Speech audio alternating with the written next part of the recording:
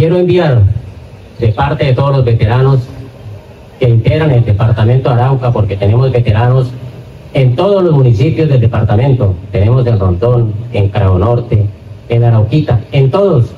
Y qué bueno fuera que este acto 10 de octubre que estamos llevando acá, por intermedio de nuestros alcaldes, se celebre en los otros municipios. Qué importante fuera. Quiero agradecer infinitamente a nuestro diputado Dumar Sebastián.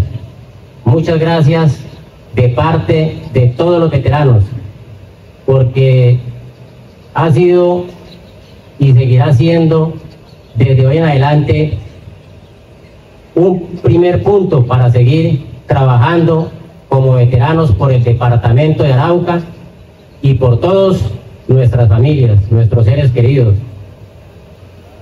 Cuando suena el minuto de silencio, yo sé que más de uno de nosotros cerramos nuestros ojos y nos lleva allá a esa situación donde muchos se quedaron en el camino y que no van a tener esa oportunidad o no tuvieron esa oportunidad de estar acá o en una de las de las regiones del país aportando.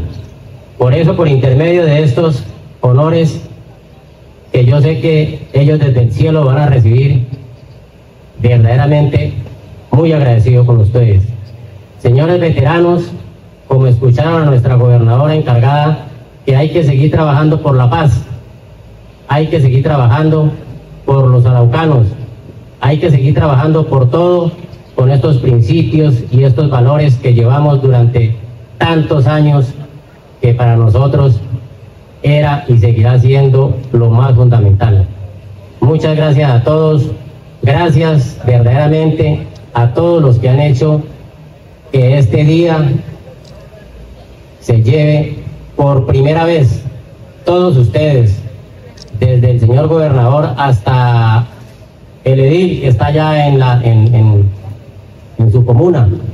Todos van a pasar a la historia este 10 de octubre del 2024 como haber podido celebrar por primera vez el Día del Veterano. Qué bueno, muchas gracias a todos, muy agradecidos, palabras y muchas cosas por decir, por contar, pero pues el tiempo nos apremia a todos. Muchas gracias.